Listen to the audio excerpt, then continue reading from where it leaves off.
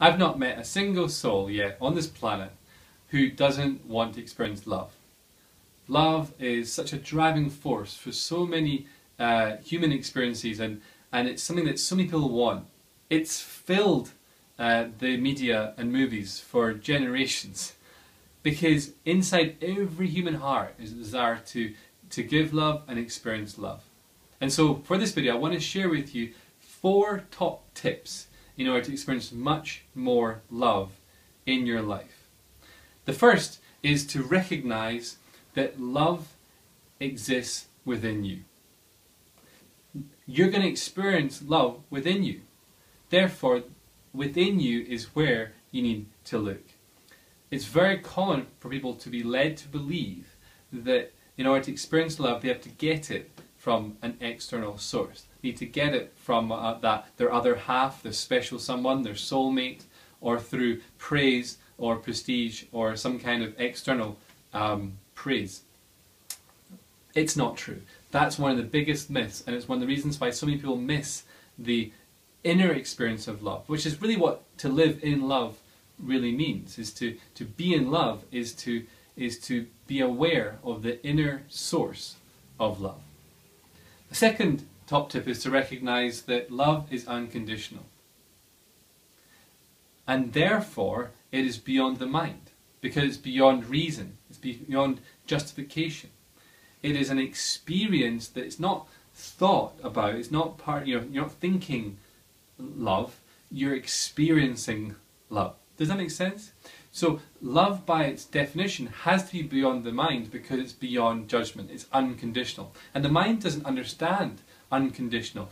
The mind makes sense of reality by putting everything into a box, of, of having tick boxes and reasons and justification for why that's lovable and why that's not deemed lovable. When you start to see that love is unconditional, then you start to see that in order for me to experience love, I need to get beyond the mind back into the present moment. Why? Because number tip number three is that love is only ever experienced now. Love is only ever experienced now. So not only is love within you and it's unconditional, but the only moment in time that you can ever experience it is right here, right now. And what that means is in order to experience more love, you need to learn how to be much more present.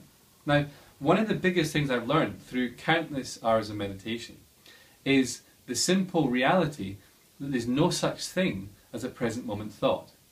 That's right, there's no such thing as a present moment thought. All our thoughts are about the past and future. And because the mind can only really think about life, think about love, it's always going to keep you one step removed from it. it is going to find reasons as to why you can't experience love right now. It might be because you've not met someone or the person you met's not quite right or, or whatever. But if you're thinking it, trying to find love through thinking, then you're going to be one step removed from the experience of love, which is only ever experienceable, if that's even a word, now. You can only experience love now. So it's really important to not only recognize that number one, love is inside you, whether you believe it or not, whether you're feeling it right now or not. The only reason you're not experiencing it is because you're not uh, present enough to experience it, and there's a high chance that you're in your mind, uh, in, in maybe judgments, conditions, reasons, and there's some a little list of requirements that you may have picked up along the way that says I can't fully love myself, or I can't fully love life right now, or I can't fully love the other people in my life right now until, until X, Y, or Z. These certain ticks are ticked, and I can deem them lovable. Now, no, we're not going to intentionally do that, but that's really what's happening behind the scenes.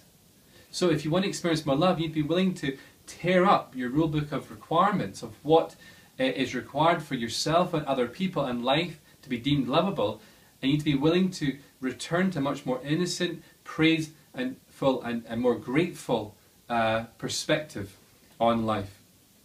Now, the way, one way to do that is to become more present and consciously aware and start to be less of a human doing and be much more of a human being. What you discover when you let go of all the doing and all the lists and all the having to achieve X, Y, and Z before you can experience love, when you start to rest back into the present moment, you start to rest back into the presence of your own being.